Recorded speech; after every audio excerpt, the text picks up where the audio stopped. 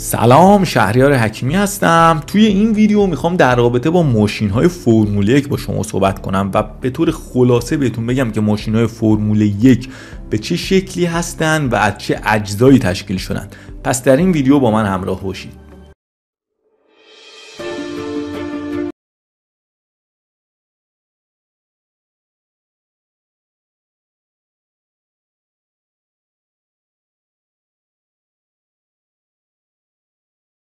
خیلی از بچههایی که فرمول یک دنبال می‌کنن یا دنبال یه راهی هستن که به سمت دنیای جذاب اتومبیل رانی بیان و مسابقات افان رو انتخاب می‌کنن در نگاه اول تغییرات می‌تونم بگم محسوسی و مشاهده می‌کنن بین ماشین های فرمول یک با بقیه ماشین ها شما اگه توی مجله ها و روزنامه ها و الان که اینترنت و شبکه های مختلف مسابقات اتومبیل رانی رو دیده باشید. می‌بینید که ماشین های مسابقات با هم فرق داره. مثلا ماشینی که توی فرمول یک هست لحاظ ظاهری با ماشینی که توی رالی می‌بینید یا توی نسکار می‌بینید متفاوته. خب من باید بهتون بگم که ماشین های فرمول یک از دست ماشین های چرخباز یا همون اصطلاحا اوپن ویل حساب میشن. حالا چرخباز یا اوپن ویل چیه؟ توی این مدل ماشینا تایر ماشین از بدنه اصلی ماشین جداه. به خاطر همینم بیش میگن چرخ باز. توی این ماشینا شاسی بزرگترین و می‌تونم بگم اصلی ترین بخش رو تشکیل داده. خب بیشترین تغییراتی که شما می‌بینید سالانه تیمای فرمول یک ایجاد می‌کنن روی شاسی همون بدنه اصلی ماشینه. مثلا فصل 2023 تموم میشه می‌خوایم وارد 2024 بشیم بیشترین تغییر توی همون شاسی ماشینا ایجاد میشه. یه زمانی شاسی ماشینا ماده اصلی که توش استفاده می‌کردن آلومینیوم بود. ولی بعدها تصمیم گرفتن از کامپوزیت محکمتر و با استحکام بیشتری استفاده کنم و به همین دلیل به سمت فیبر کربن رفتن. الان هم که دیگه ماشینا اصلا شاسیشون رو می‌بینید فیبر کربن واقعا تو چشم میاد و حتی به یه میم هم تبدیل شده. مخصوصا توی فصل 2024 که اکثر تیم ها سعی کردن که حتی رنگشون رو به سمت مشکی ببرن و اون فیبر کربن واسه همین خیلی بیشتر تو ذوق می‌زنه می‌تونم بگم. وزن ماشین های فرمول یک باید حداقل 740 کیلوگرم باشه.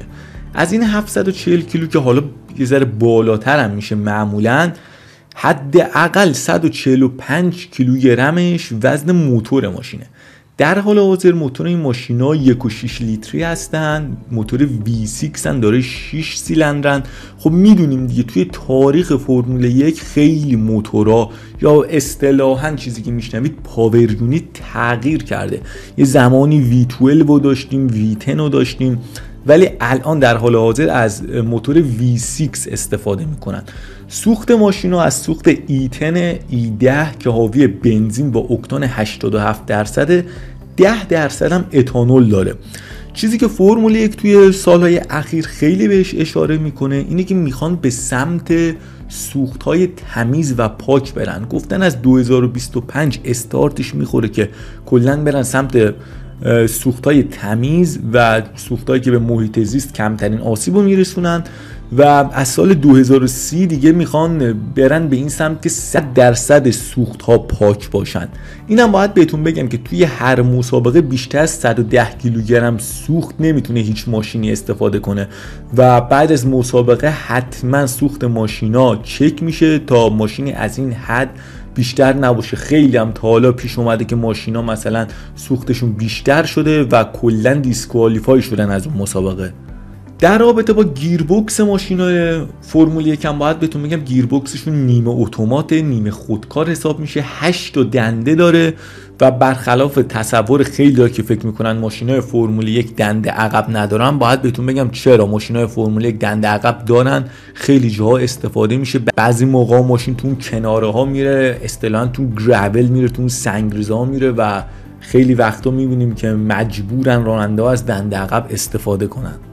یه چیز دیگه که شاید به چشم بیاد و مشاهده بکنید اونو سمتی هست که راننده میشینه. به اون سمت میگن کاکپیت.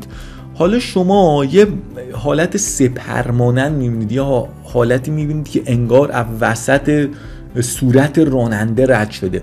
به اون میگن هیلو که از جنس تیتانیومه. هلوش 9 کیلوگرم هم هست هیلو. کارش هم اینه که از راننده حفاظت می‌کنه از سر راننده حفاظت می‌کنه. این خودش خیلی داستان داره. یه ویدیو مجزا در رابطه با هیلو و ورودش به فرمول یک حتما می‌سازم. ولی اینم بدونید که اون چیزی که توی cockpit هست و یه حالت مثلث و سه شاخ داره بهش میگن halo. در رابطه با لاستیک های فرمول یک باید بهتون بگم که در حال حاضر توی پیست های خشک. از سه تا لاستیک استفاده میشه. لاستیک hard medium و soft. توی هوای بارونی هم از دو تا لاستیک مختلف استفاده می‌کنن. این بعد این رو بهتون بگم که وزن لاستیک هم خب دیگه فرق داره. مثلا هارد با سافت و میدیوم اینا با هم فرق داره. از 9.5 کیلو تا 11.5 کیلوگرمه. و اندازهشون هم 18 اینچه دیگه. اینم دوباره از فصل 2022 عوض شد. احتمال داره شما اگه چند سال دیگه مثلا این ویدیو رو گوش بدید این ویدیو رو تماشا کنید دوباره سایز تایرهای فرمول 1 عوض شده باشه. نمی‌خوام خیلی پیچیده کنم این ویدیو رو و هدفم اینه که مخاطبایی که تازه وارد شدن و مخاطبایی که تازه می‌خوان دنبال کنن افانو یه سری خلاصه و یه سری جزئیات ماشین های فرمول رو بدونن. واسه همین در مبحث آخر و موضوع آخر می‌خوام به ایرودینامیک اشاره کنم که کلا می‌تونم میگم علم اصلی ماشین های فرمول 1 و ایرودینامیک تشکیل میده. ایرودینامیک هم بررسی جریان هوا توی ماشینه. مثلا ماشین که داره حرکت می‌کنه اصلا کل علم فرمول 1 اینه که چطوری که این جریان هوا رو از ماشین عبور بدن از کف ماشین گرفته از بالهای ماشین گرفته چه بالهای جلو چه بال عقب همه اینطوری تشکیل میدن که ایرودینامیک بهتری داشته باشن. مثلا ما یه چیزی به اسم DRS داریم که اون درگ رو کاهش میده. حالا من در رابطه با DRS هم یه ویدیو مجزا می‌سازم ولی در همین حد بدونید که اون بال پشت باز میشه تا هوا بهتر جریان پیدا کنه و همین باعث میشه که مثلا ماشین هلوش 15 16 کیلومتر بر ساعت سرعتشون بیشتر بشه. اینم باید در رابطه با ایرودینامیک بدونید که همونطور که فکر کنم بو سه بار اشاره کردم علم اصلی ماشین های فرمول یک بر اساس ایرودینامیکه. این یه چیز خیلی خلاصه در رابطه با ماشین های فرمول یک بود.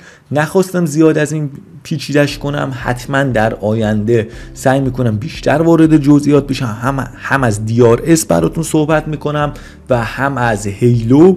امیدوارم از این ویدیو راضی باشید. تا ویدیوی دیگه.